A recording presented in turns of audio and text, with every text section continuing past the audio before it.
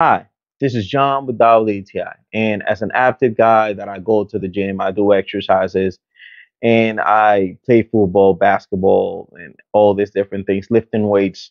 Recoveries has always been a big problem for me.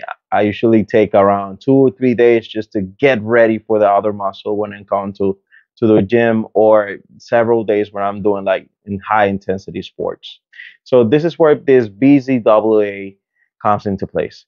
This guy here has helped me a lot when it comes to recovering easier and faster when it comes to different sports or any physical activity that we get. This is orange flavor. It's really nice. Uh, it's not gonna be to feel like too artificial, uh, artificial, or like ah feeling. Nah. Overall, this has been a great help for me, just like to recover properly, recover faster in my experience so I can keep moving and I'm not gonna be so sore the day after that I'm doing any physical activity.